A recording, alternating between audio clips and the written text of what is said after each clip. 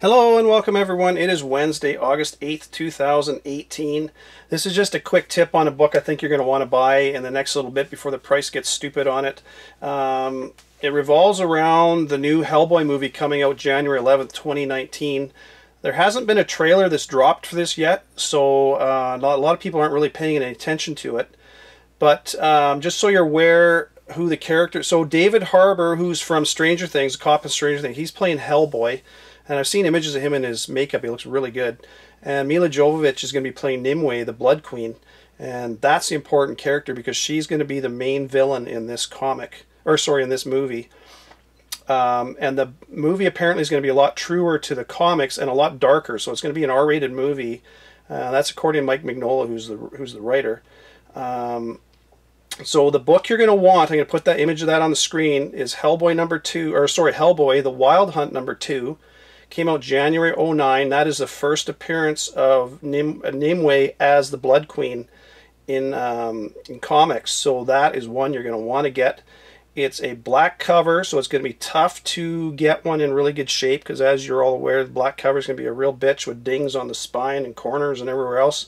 Um, it's a low print run. There's It's under 23,000 print run on this, so there's not a lot of them out there. And uh, just disclaimer right up front, I bought one off eBay. That's it. I only bought one copy. And uh, when I bought them, there was three on eBay. And I just looked before I did this video, there was two. One is a full set, um, one to eight, because there's eight uh, in that um, series.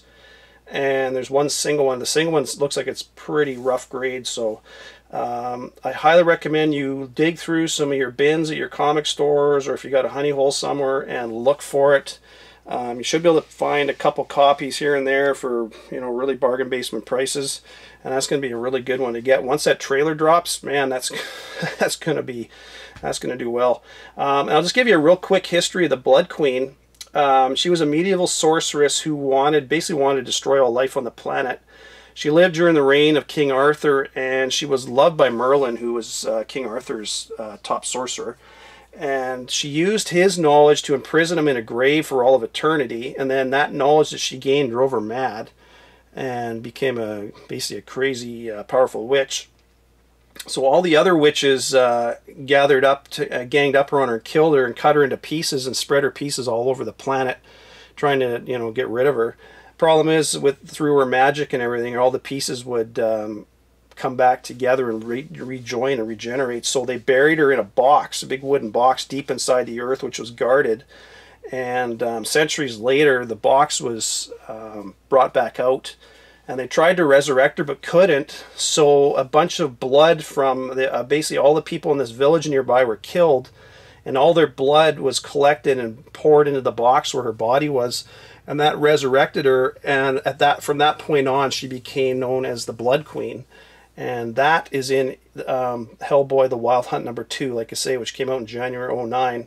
So that is a book you're going to want to get because she's going to be the main villain in um, the new Hellboy movie coming out in January 2019.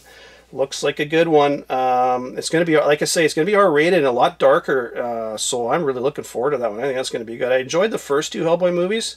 I thought they were a little, uh, I don't know, too goofy though. The especially the second one. But uh, anyways, it's a really good book. Take a look for that um, if you can. If you can find it in some bins somewhere. Try to pick it up cheap. Um, more than likely what will happen in the next week or so, the prices, you know, people will dig through their bins and find some or go find some in their long boxes and put them up on eBay for 50 $60.